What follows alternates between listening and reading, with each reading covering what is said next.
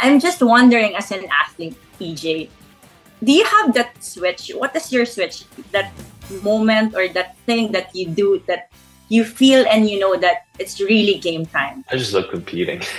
um, really? What can I say? There's this, there's that vibe. Like... And, uh, we had a conversation with my coach, and he says like, "You suck at jumping and training. You really do." and just like it's it's hard. I think it's harder for me to kind of zone in into like. Don't get me wrong. I train very hard, and I think I'm able to train anything outside of of, of pole vaulting itself pretty well.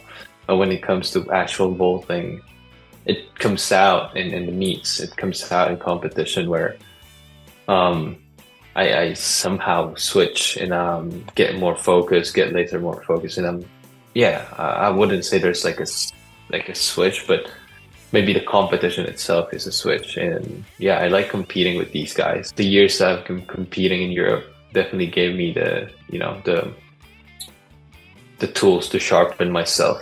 Um, in the day to day, like different variables in competition, different venues, different crowds. It's adapt and learn and compete. And the fun thing is like everybody's um, put in the same field, the same time, in the same conditions, and let's see who wins. You know what? I just want to share.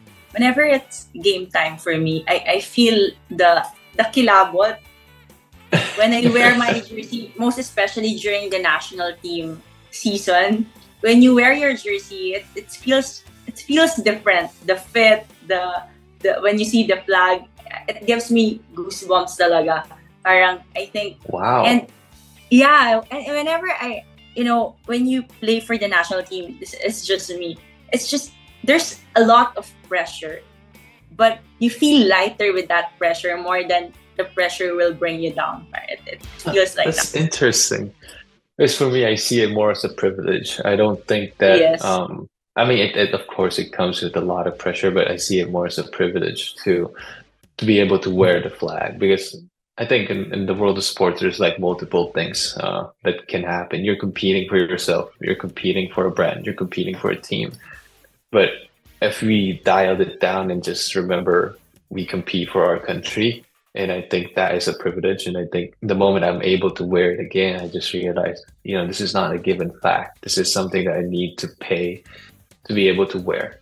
It's the same. I, I would I would say for you guys, you know, you want to make the team, you need to pay that price to be there in the team and and be one of those um, athletes who wear the Philippine flag on your chest. And I think it is still a privilege to for me, it is a privilege to be able to wear the flag and be able to feel that pressure as well. Um, it's a privilege to be able to wear your your flag on your chest and be able to feel that that that that expectation, all that pressure that that comes with it. It's a privilege to be able to represent and the privilege to be alongside great and elite athletes as well, learning from them and show showcasing also what we've got as Filipinos. Exactly. Wow.